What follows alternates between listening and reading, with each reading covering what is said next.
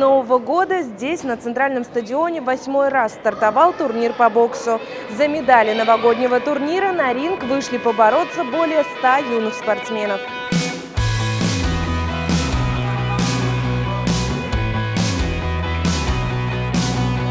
Восьмой турнир мы организовали совместно Федерация бокса Республики Мариэл и благотворительным фондом поддержки развития а, бокса в Республике Мариэл. Восьмой турнир а, именно в городе Волжск. Как главный судья могу подчеркнуть, что турнир на очень хорошем уровне. У нас 117 участников.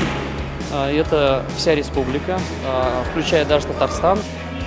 Самым молодым ребятам всего 10-11 лет. Каждый раз, выходя на ринг, они показывают результаты упорных тренировок. Некоторым спортсменам попадаются соперники из своей команды, и бой со своим другом проходит под особым напряжением.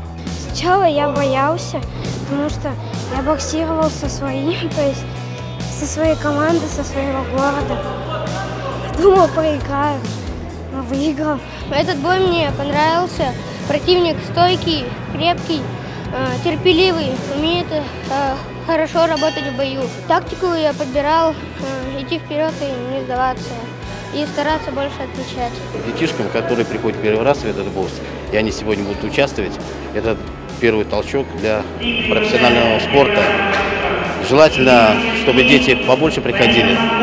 Над чем нам нужно работать, чтобы дети были в спорте, а не на улице детишки не только духовно как бы расти будут, но и физически тоже. То есть для них это значимое событие. В течение трех дней зрители наблюдали за множеством захватывающих поединков, искренних эмоций и переживаний юных участников соревнований. В общекомандном зачете в очередной раз наибольшее количество призовых мест собрала команда воспитанников школы бокса имени Гумара Мухамедзянова. 32 комплекта наград, а также все участники турнира не остались без сладкого подарка. Татьяна Дуборкина, Евгений Бережной, Антон Макаревич, Волжск, 24.